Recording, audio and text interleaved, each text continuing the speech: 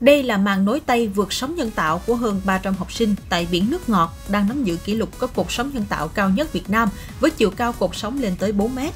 Hoạt động là một phần trải nghiệm trong chuyến dã ngoại được tổ chức trong tháng 5 năm 2023 dành cho học sinh trường song ngữ quốc tế Hoàng gia, Royal School, để mang đến một mùa hè lý thú và tràn đầy năng lượng.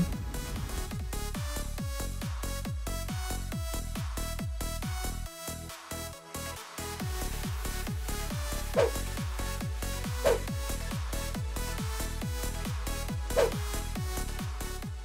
dậy từ 4 giờ sáng và chuẩn bị chơi Amazing Bay rồi ạ.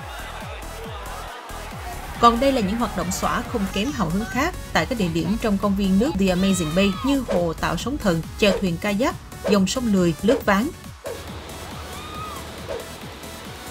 Dạ, em cảm thấy rất là yêu môi trường và môi trường em đang học hiện tại nó mang lại cho em những trải nghiệm, những cảm xúc vui vẻ mà em chưa từng có.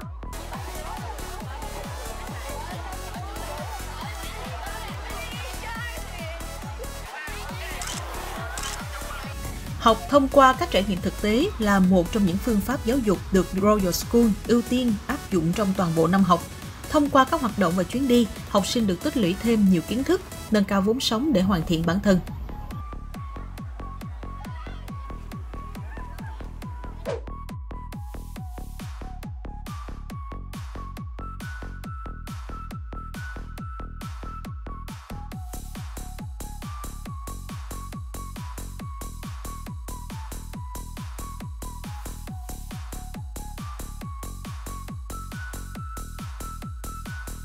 Các con đã được chuẩn bị ngay từ đầu và các cái kỹ năng để các con sẽ à, trải nghiệm thực tế tại khu du lịch Amazing Bay. à, các con đã thể hiện rất là rõ cái việc là các con đã phát huy được những cái kỹ năng cũng như những cái năng lực đã được tự trang bị tại trường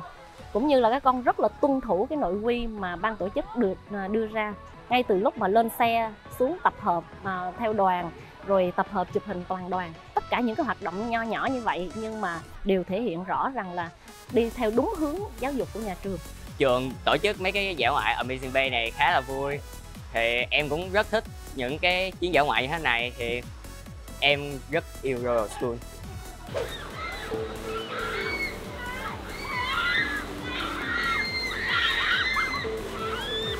Có thể thấy khi mùa hè đến, việc tổ chức những chuyến đi dã ngoại là điểm cộng thú vị để đổi mới môi trường học tập.